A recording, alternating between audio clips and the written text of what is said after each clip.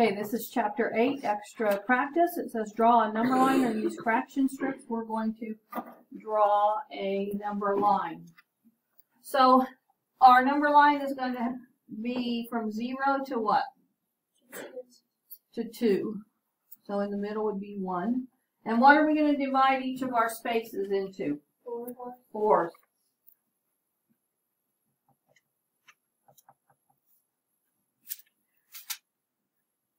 Okay, so two divided into one fourth. How many one fourth pieces do we have there? Eight. Eight. Okay, okay, so on number two, we have a fraction um, that we're dividing.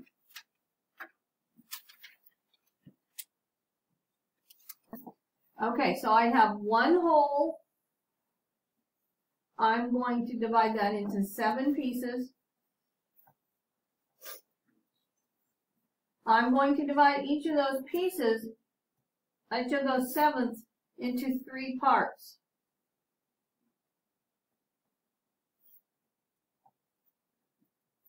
So now how many parts do I have? 21 parts. So 1 seventh divided into 3 is 1 21st. Okay? I want you to draw a diagram for, circle these, 3, 4, and 5. I want you to draw your number line. The rest you can multiply using an equation. Okay? Uh, let's look at 8.2. It says draw a diagram to solve. The baker has six small bags of flour. Each bag weighs one pound. She divides each bag into thirds. So she has six small bags. How much is she dividing them into? One third.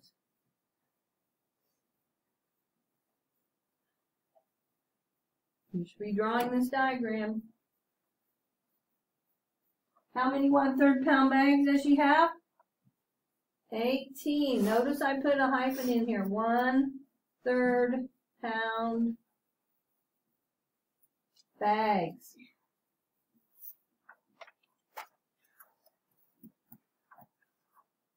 Okay, let's try the next page. It says complete the number sentence to solve. Three students share five peaches equally. How many peaches does each student get? I want to see some work. Three students share five peaches. So five divided by three. It goes in once. And we have two left over. Take your remainder, put it over your divisor so they each get one and two thirds.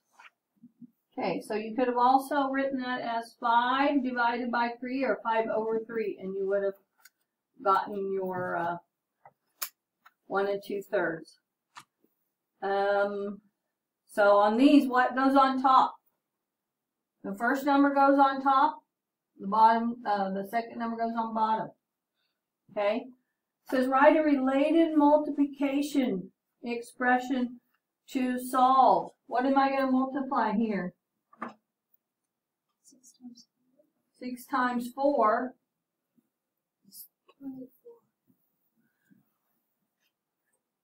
Okay. What am I going to multiply on 2? Nine We're taking 9 and dividing it in. This one, we're going to take 1 sixth and divide it by 7. So is our big number going to be our numerator or our denominator? denominator. The denominator. Okay, let's look at 8.5. Write an equation to represent the problem, then solve. Was has one third pound of cherries. She divides the cherries equally into two bags. What fraction of a pound of cherries is in each bag? So what's our first problem going to say? She has one third pound, and she's going to divide that into Two bags. two bags. What fraction of a pound? That's going to equal in. Okay, then we can put this over our reciprocal.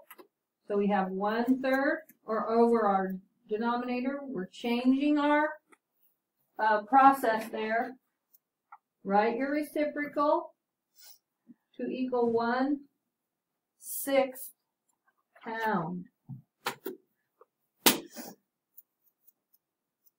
So I need to see this process on number two. I need you to show me the reciprocal with multiplying it. Um, so on number two, not only do I need you to draw a diagram, but I would also like you to do the equation.